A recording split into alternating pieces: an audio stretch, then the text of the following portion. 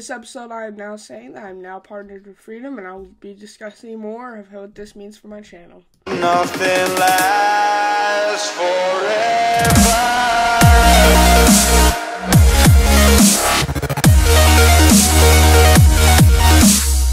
So now I'm partnered with Freedom. That's really glad. I'm so happy I'm now partnered with that news Network.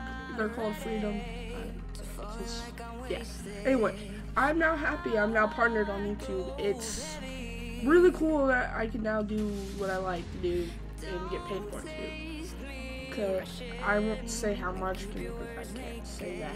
But uh, I'm so happy now. I'm now partnered. I can now it can help my channel grow. It's just a big thing, and I'm really proud that I can do it. And thanks to the Freedom people for accepting my letting me do it. So, this is a short one, by the way, guys. Uh, I don't have a lot. I do need to make some game content soon.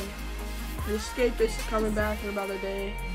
Maybe, I don't know, school's starting up. This is the last day of spring break. It's actually the last day of spring break is Friday, but this is the weekend, Sunday. And I said Serious and Mood coming back soon. Uh.